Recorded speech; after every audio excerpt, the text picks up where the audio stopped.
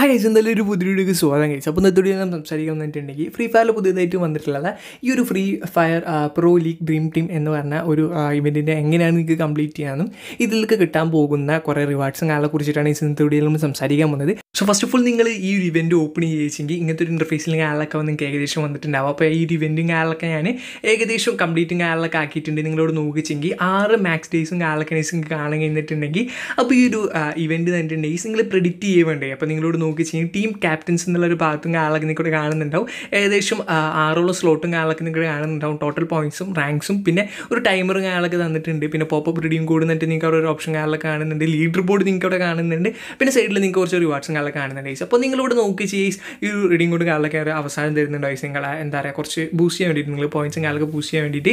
So നിങ്ങളിവിടെ നോക്കി chase നിങ്ങൾക്ക് ഇവിടെ എന്താ പറയുക പോയിന്റ്സ് സീറോ അതായത് ഫസ്റ്റ് സെക്ഷനിൽ നോക്കിച്ചെങ്കിൽ ഇവിടെ നിങ്ങൾക്ക് ടീമിനെ സെലക്ട് ചെയ്യാം. നിങ്ങൾക്ക് ഇഷ്ടമുള്ള ടീമിനെ അപ്പോൾ എനിക്ക് അധികം ഈ സ്പോർട്സിന് ആളൊന്നും കുറിച്ചിട്ട് അറിയില്ലെങ്കിലും നിങ്ങൾക്ക് റാൻഡംലി നിങ്ങൾ ഏതൊരു ടീമിനെ സെലക്ട് ചെയ്യാം. ഞാൻ ഇപ്പോൾ നോക്കി ചേഞ്ച് ടോട്ടൽ ഗെയിമിന്റെ ഒരു എന്താ പറയുക ടി ജി ഫോയ സജാ സെവൻ അങ്ങനെ ഏതൊരു മച്ചാനെയാണ് സെലക്ട് ചെയ്തിട്ടുള്ളത്. അപ്പോൾ ഞാൻ ഓൾറെഡി ഇവിടെ മാഫിയാണ് സെലക്ട് ചെയ്ത് വെച്ചിട്ടുള്ളത്. അപ്പോൾ ടി ജി മാഫിയ. ഞാൻ കുറച്ച് കേട്ടിട്ടുള്ള ഒരു ആൾക്കാർ മാത്രമേ ഞാൻ ഈ ഒരു ചൂസ് ചെയ്യുന്നുള്ളൂ. നമ്മുടെ ടോട്ടൽ ഗെയിമിന്റെ ടീമായ കാരണം ഞാൻ മച്ചാനായി ചൂസ് ചെയ്തൊക്കെയാണ് അപ്പോൾ അതേപോലെ തന്നെ നിങ്ങൾ ഓരോ സെക്ഷനിൽ പോയിട്ട് നിങ്ങൾക്ക് ഇഷ്ടമുള്ള ടീമിനെ ഓരോരുത്തർ നിങ്ങൾക്ക് ആഡ് ചെയ്യിച്ചു എന്നിട്ട് അവരൊക്കെ വെച്ചിട്ട് നിങ്ങൾ ഒരൊറ്റ ടീം ഉണ്ടാക്കുക അതാണ് ഈ ഒരു ഇവന്റിന്റെ കോൺസെപ്റ്റ് എന്ന് പറഞ്ഞിട്ടുണ്ടെങ്കിൽ കുറച്ചുകൂടി സിമ്പിളായിട്ട് നമ്മൾ പറയിച്ചെങ്കിൽ ഉദാഹരണത്തിൽ ഇപ്പോൾ ഞാൻ എന്താ പറയുക കാൽ ഫുഡ് ഗെയിമേഴ്സ് എന്നൊരു ടീം നിങ്ങളോട് ചൂസ് ചെയ്യണം. എന്നിട്ട് എന്നെ ചൂസ് ചെയ്ത് വിചാരിച്ചു. ഓക്കെ പ്ലേയേഴ്സിന്റെ ക്യാപ്റ്റനായിട്ട് എന്നെ ചൂസ് ചെയ്ത് വിചാരിച്ചു. ഞാൻ അപ്പോൾ ടൂർണമെന്റിൽ എട്ട് കില്ല് ഓക്കെ എട്ട് കില്ലിന് ഏകദേശം നിങ്ങൾക്ക് എട്ട് പോയിൻസാണ് കിട്ടുന്നത്. അപ്പോൾ ആ ഒരു എട്ട് പോയിന്റ്സ് നിങ്ങൾക്കും കിട്ടും. ഓക്കെ എനിക്ക് ഇൻ ഗെയിമിൽ എട്ട് പോയിന്റ്സ് കിട്ടും.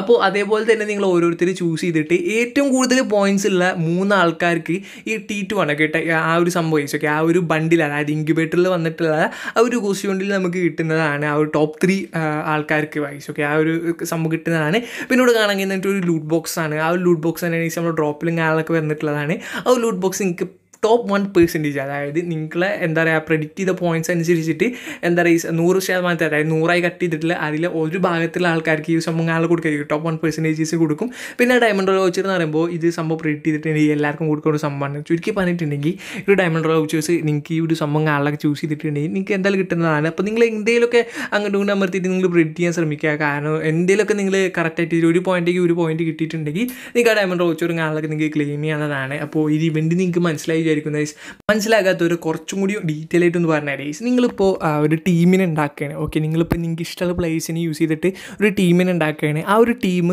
റിയൽ ലൈഫിൽ ഇതിപ്പോൾ ഏതൊരു ടീം ആയിക്കോട്ടെ നിങ്ങളിപ്പോൾ കുറേ ടീമുണ്ട് ഉദാഹരണത്തിന് പറയുകയെങ്കിൽ ഐ പി എൽ എടുക്കുകയാണ്. അപ്പോൾ കൊൽക്കത്ത നൈറ്റ് റൈഡേഴ്സിന് ഞാൻ ഒരു ടീം ഒരാളെടുത്ത് ഓക്കെ അതേപോലെ തന്നെ ഞാൻ കിഞ്ചലോ പഞ്ചാബിൽ നിന്ന് ഒരാളെടുത്ത് അതുപോലെ തന്നെ നമ്മളെ സി എസ് കെ ഓക്കെ ആ തന്നെ തോന്നിച്ചു ഓക്കെ കറക്റ്റായിട്ട് ഷോർട്ട് ഫോം നമ്മൾ എന്തെങ്കിലും തെറ്റിയിട്ടുണ്ടെങ്കിൽ ക്ഷമിക്കുക ഓക്കെ അതിൽ നിന്ന് ഒരു ഒരു പ്ലെയറിന് എടുത്ത്. ഓക്കെ അങ്ങനെ റാൻഡം ആയിട്ട് കുറേ പ്ലേസിനും ആളൊക്കെ എടുത്തിട്ട് അവർ ഇൻ ഗെയിമിൽ പെർഫോം ചെയ്യുന്നതിനനുസരിച്ചിട്ട് ഓക്കെ ഇപ്പോൾ ഉദാഹരണത്തിന് ഞാൻ പറയുക ഞാൻ ധോണീനെ എടുത്ത് പിന്നെ ഞാൻ ക്രിസ് ഗെയിലിനെ എടുത്തു ഓക്കെ ഇപ്പോൾ ക്രിസ് ഗെയിൽ എന്താ പറയുക ഒരു ഇതിൽ മാച്ചിൽ സെഞ്ചുറി അടിച്ച് വിചാരിക്കുക. അപ്പോൾ അതിന്റെ പോയിന്റ്സ് എനിക്ക് കിട്ടും ഓക്കെ ഞാൻ പ്രെഡിക്റ്റ് ചെയ്തിട്ടുണ്ടെങ്കിൽ അതിന്റെ പോയിന്റ്സ് കിട്ടും. ഇപ്പോൾ ആ ധോണി എന്താ പറയുക വിക്കറ്റ്സും ആളൊക്കെ എടുത്തിച്ചെങ്കിൽ അതിനനുസരിച്ചുള്ള പോയിന്റ് എനിക്ക് കിട്ടും ഓക്കെ അപ്പോൾ അവരൊരു ടീമാണ് ഓക്കെ അപ്പോൾ അവർ റാൻഡം പ്ലേയേഴ്സ് കണ്ട ഒരു ടീമിൽ അവർ ഇൻഡിവിജ്വലായിട്ട് എടുക്കുന്ന പോയിന്റ്സും കാലൊക്കെ നമുക്ക് ഒരൊറ്റ ടീമിന് കിട്ടും ഓക്കെ അപ്പോൾ അതേപോലെ തന്നെ ആ ഒരു പോയിൻസും കാര്യങ്ങളൊക്കെ കാൽക്കുലേറ്റ് ചെയ്തിട്ട് ഓക്കെ ഫൈനൽ ഡേയിൽ ആ പോയിൻസും കാര്യങ്ങളൊക്കെ കാൽക്കുലേറ്റ് ചെയ്തിട്ട് നിങ്ങൾക്ക് ഡേ വണ്ണിൽ ഏറ്റവും കൂടുതൽ പോയിൻസ് കേടിയ ഫസ്റ്റത്തെ മൂന്ന് പേർക്ക് ആ ഒരു ഇൻക്യുബേറ്റർ ബണ്ടിലും പിന്നെ എന്ന് പറയുകയാണെങ്കിൽ സ്റ്റോപ്പ് വൺ പെർസെന്റേജ് ആയിരിക്കും ആ ഒരു ലുഡ് ബോക്സും പിന്നെ എല്ലാവർക്കും എന്താ പറയുക ഡയമണ്ട് റൗച്ചറും കൊടുക്കേണ്ട ഒരു സംഭവമാണ് ഈസ് ഓക്കെ